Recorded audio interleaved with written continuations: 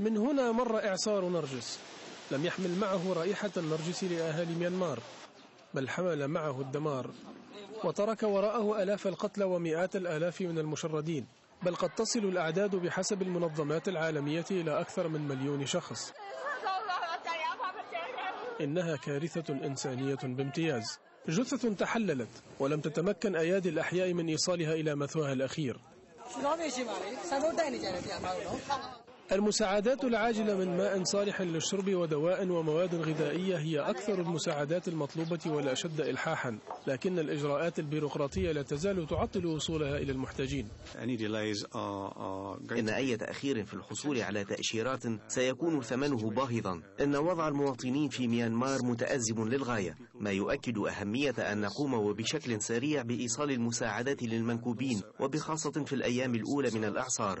منظمات الإغاثة العالمية التي أعلنت حالة تأهب قصوى لا تزال تنتظر السماح لها بدخول ميانمار لمساعدة الناجين كما طالب اتحاد منظمات الصليب الأحمر والهلال الأحمر العالمي بمنح ميانمار مساعدات تقدر بستة ملايين دولار لمواجهة الكارثة. ورغم تدفق المساعدات المالية والإنسانية من كافة أنحاء العالم إلا أن القليل منها فقط وصل إلى المنكوبين فيما ينذر الخبراء بحدوث كارثة إذا لم يتم السماح لجهود الإغاثة بأن تكون مباشرة.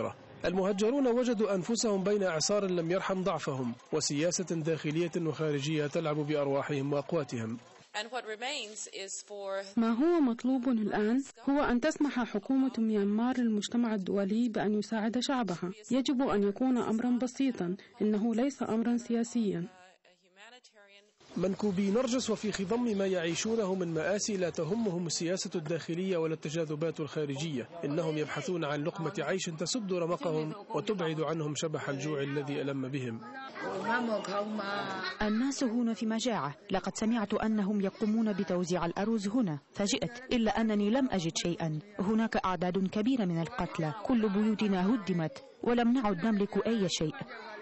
وإلى أن يتحرك المجلس العسكري ويسمح بدخول منظمات الإغاثة أو يرغم على السماح لها بدخول أراضيه كما يطالب وزير الخارجية الفرنسي برنار كوشنر.